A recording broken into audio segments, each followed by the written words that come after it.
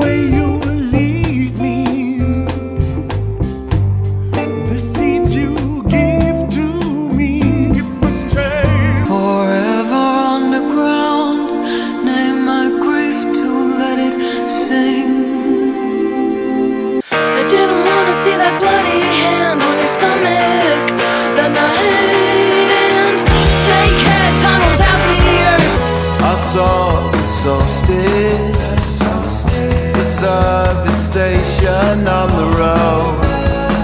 Loyal and respectful, someone dignified.